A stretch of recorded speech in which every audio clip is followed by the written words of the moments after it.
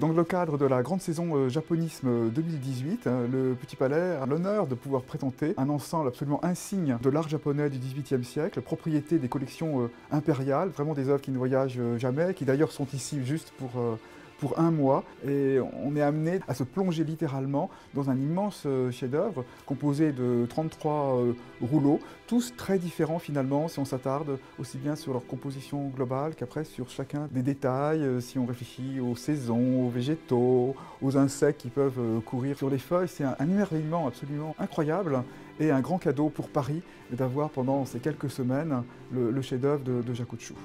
Ces œuvres sont d'une grande fragilité, donc nous pouvons les montrer véritablement que pendant quatre semaines, et d'ailleurs au retour, ils ne seront plus montrés au Japon pendant assez longtemps.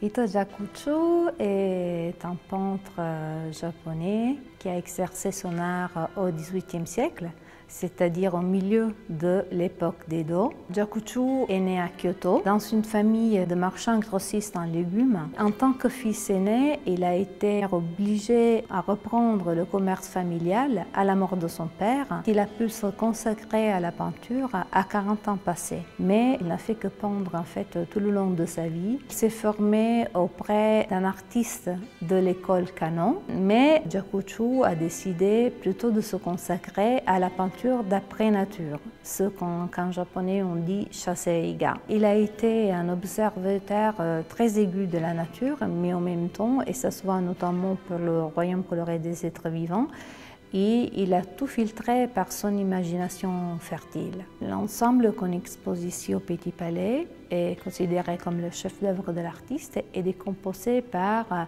la triade bouddhique, c'est-à-dire le Bouddha historique. Cette triade est, selon les volontés de l'artiste, flanquée par euh, les rouleaux du royaume coloré des êtres vivants. L'artiste avait offert cet ensemble au monastère zen Shokokuji de Kyoto. Il faisait des recherches très approfondies sur la couleur. Il a utilisé soit euh, des, pigments euh, d'origine minérale, comme euh, le vert malachite et aussi le pigment blanc. En japonais, on appelle ça gofun. C'est la poudre de coquillage broyé. En ce qui concerne l'utilisation de cette dernière couleur, Jakuchu est vraiment un maître. Ensuite, il a utilisé plusieurs techniques dites urazaishiki, c'est-à-dire de coloration de revers de l'œuvre, afin d'obtenir euh, des nuances plus ou moins intenses. À la sortie de l'exposition, on présente aussi un album de gravure, une des œuvres de l'artiste réalisée par le biais de la technique dite de takuhanga, une technique de l'estampage